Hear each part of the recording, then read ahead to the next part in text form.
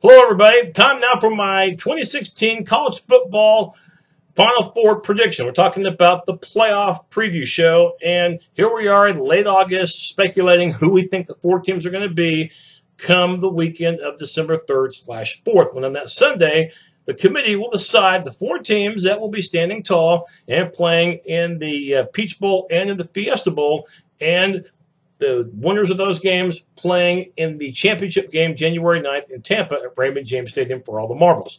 Well, the first team I've got picked to go is going to be Clemson. The Tigers, Deshaun Watson and company, a lethal offense, and a team coached by Dabo Swinney that last year had an undefeated regular season that came close to winning the national title. There's too many weapons on this team for them not to make another charge, and the ACC will be challenging with the likes of Louisville and happen to play uh, Florida State at Doak Campbell. But I think Clemson is able to handle the challenge. They've got enough skill and, of course, the experience from last year. I look for Clemson to not only get to the Final Four, I look for them to go undefeated. And taking a look at Alabama. Yes, they were there last year, defending national champions. It doesn't matter, you know, how many players they lose from the year before. They find a way to not only reload with the, what they've got, but also, too, the newcomers, they managed to get them um, acclimated into playing high-level college football. I do think Bama's going to lose one game. After all, it's going to be the um, SEC that you have to contend with. But they seem to really play their best ball during the second half of the season and get stronger. And I look for Bama to overtake Tennessee twice this year, once in Knoxville and also for the uh, SEC championship in Atlanta.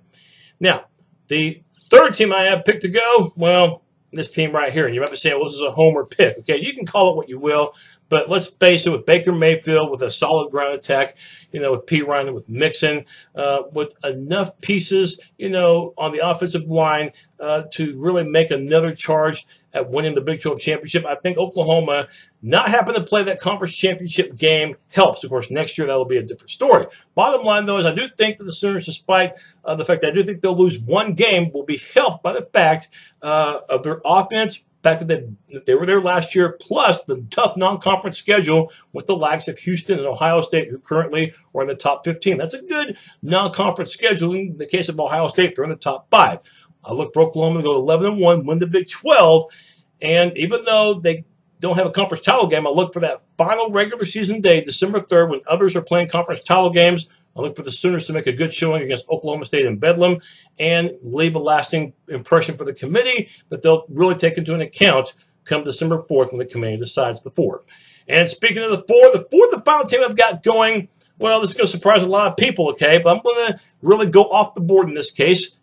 Michigan State. Reason Mark Dantonio can coach, period.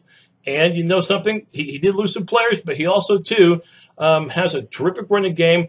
Michigan State's always going to be good defensively, and I like their schedule getting Michigan and Ohio State at home. I think that's very important. I think Tyler O'Connor will handle the role of being the starting QB quite well. Hey, he went into the Ohio State game last year on the road and handled the pressure well after Connor Cook got hurt. So look for O'Connor to lead Michigan State, and I look for the defense to be just fine.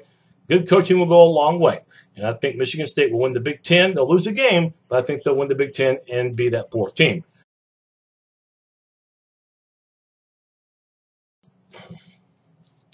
So what I think will happen, I think Clemson will be the number one seed, and I think Michigan State will be the number four. And I think they'll play the Peach Bowl for one semifinal on New Year's Eve. Clemson is just going to have way too much offense in this one, and I think they will beat Michigan State, and I think they'll beat them comfortably.